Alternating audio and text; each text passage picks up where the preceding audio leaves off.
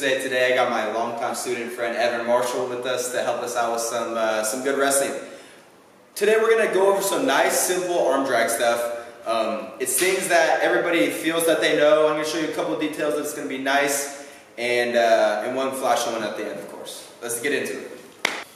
Okay, so let's go over the first one. Nice and basic. We're gonna go over kind of like the wax on, wax off technique, right? Like kind of how we move our hands in order to start to wrap up his hand for an arm drag, okay? So, right now we're both gonna be in a right leg dominant wrestling stance, which is pretty much the most common one in wrestling, okay? You guys can learn how to apply this for MMA in, in another episode. But look what we're gonna do.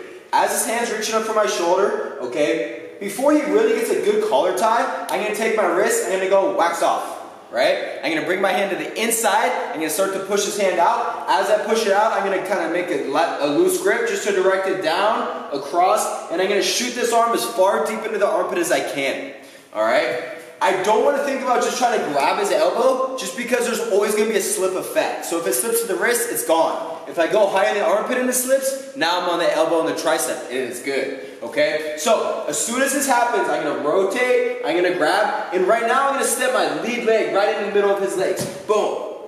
As soon as I make this hard step, I'm going chest to chest.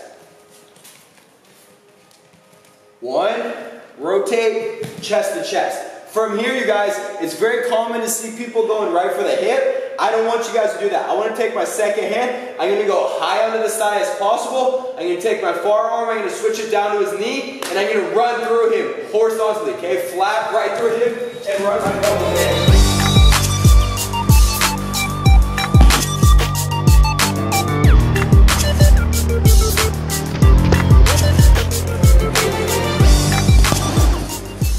Okay guys, our next variation.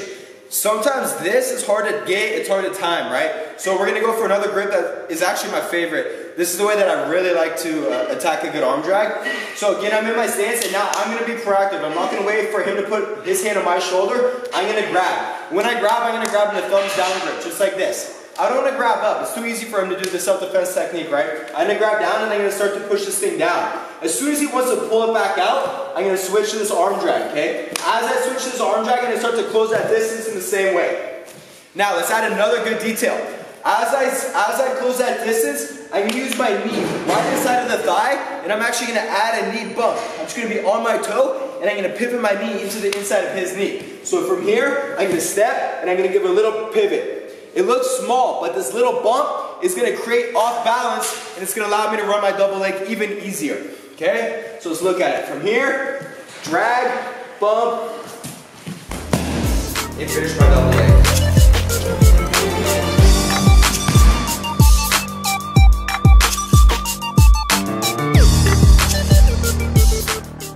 Guys, so our final one today is going to be a little bit more jiu-jitsu style and uh, it may be a little tougher against a good wrestler, but it's definitely something that's effective at times, all right? So we're to do it, it's fun to drill, and it's to help you guys with coordination and strength anyways. So again, I'm to go back to my arm drag with my thumb down grip. This time, as I drag him, I'm not to focus so much on stepping in and bumping his knee. I'm to focus more on locking my lat, okay? Thinking about pulling my elbow to my hip, so I'm locking my back in place, and I'm to really lean back. This is gonna make him come forward. As soon as he comes forward, I'm gonna be throwing in my first hook, jumping to the back, and really searching for the second hook on the far side, okay? My hand is already gonna go around the neck, looking for the shoulder. I'm gonna keep that bent wrist, start to lock my Mataleon, head to the ear, finish my choke.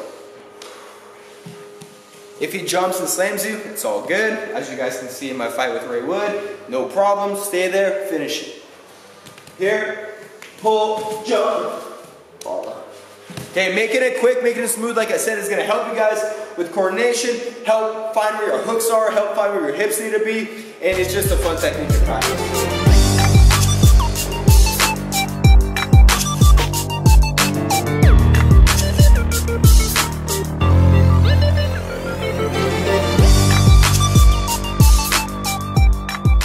That's it, you guys, for Technical Tuesday. Big thanks to Evan, thanks for helping me out.